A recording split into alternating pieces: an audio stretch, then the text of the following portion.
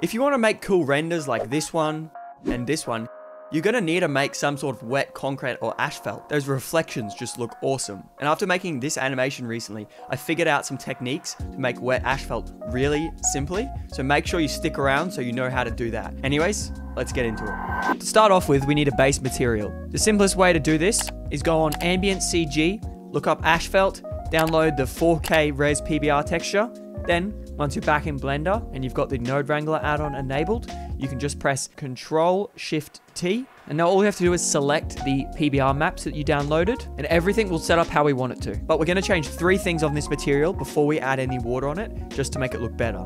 So first of all, open up another window, go into your UV editor, make sure you apply the scale of your object, go into edit mode, press A to select everything, and do the usual U, cube projection, and then scale it up till it's about the size you want. Oh, also, you can make this base material however you want.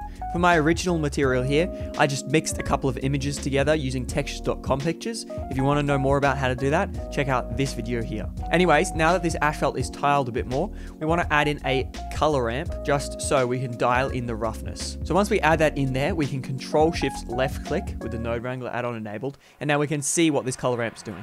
So what we want to do is we just want to bring up this contrast, because if you think about it, no matter your base material, it's going to be wet because we're putting in a wet environment. So we want to bring up that roughness a bit and make it more high contrast. So we can bring up that black and you can start to see over here, these colors change. Now, my biggest tip is change this black value to something like 0.05 because you don't want your concrete to be completely reflective. And then we can bring these close together. We get some contrast and our material will look a bit more shiny overall. Now, lastly, we're going to add displacement to this material so that we actually get ups and downs and so that when we add these puddles in, they can be lower than the asphalt.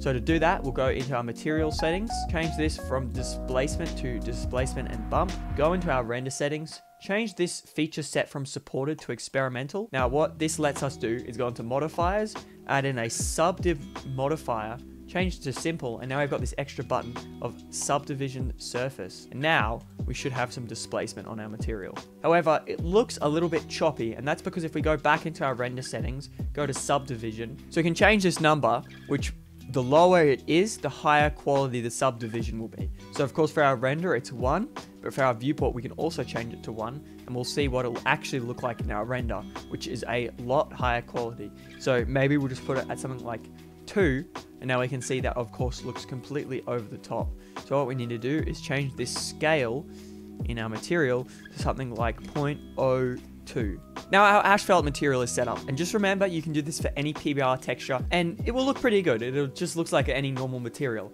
But to get it to look cool and get these awesome reflections that the puddles add we need to do a couple of things. Firstly we need to actually make this water material so what I like to do is just add in a glass BSDF and change this IOR, which is the index of refraction, and I'll put that to 1.333, which is more accurate to what water looks like. And so now we have our water, except it's pretty flat and boring.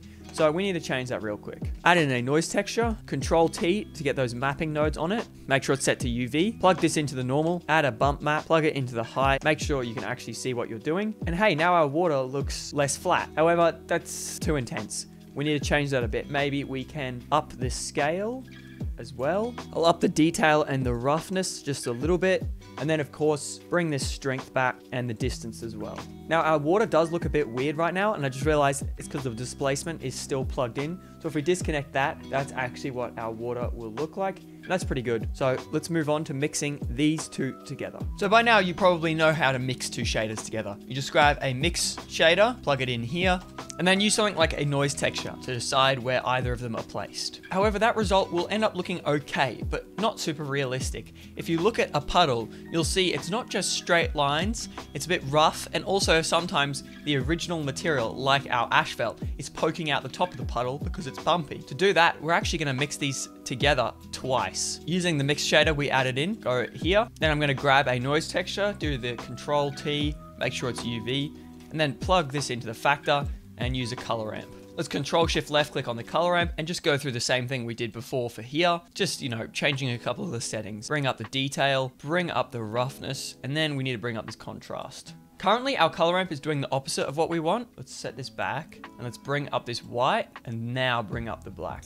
And now you can see every so often we've got a little bit of the asphalt poking through. It looks a bit weird, of course, because of the displacement. If we take that out, it looks pretty good. Um, Of course, we can change a couple of these things later, but let's just ma finish making this, this material, shall we? Add in a mix shader after this one, plug this BSDF in here, and now we can control the factor of where our puddles are being added. Let's do that same thing again. Now we need to change some settings. So Let's bring this scale down. These puddles are a bit bigger. Bring this contrast up a lot more. Okay, so our color ramp is doing the right thing, but it's doing the opposite. So if we just switch these, that should be good. So now we have some pretty nice puddles.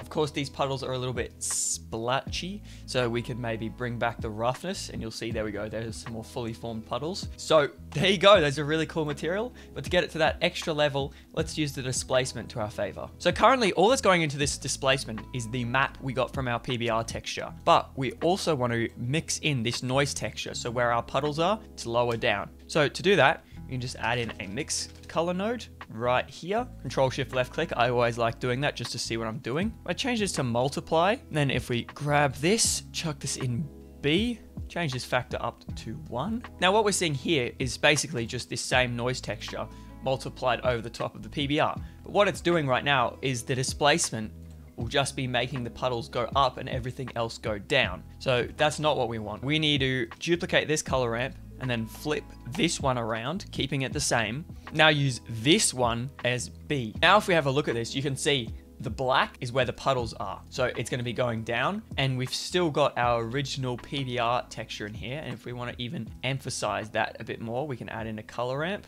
and bring out those pebbles a bit more. Another thing you might want to do is just increase the contrast on this color ramp here that's going into the displacement, just bringing that white up even further, just to really make sure that it's only where the puddle is that there's no displacement. So now if we bring this scale up to something like 0.1, you can see our asphalt is now raised and it goes down into the puddle. So there you go, there's how to make a wet asphalt material that looks really cool.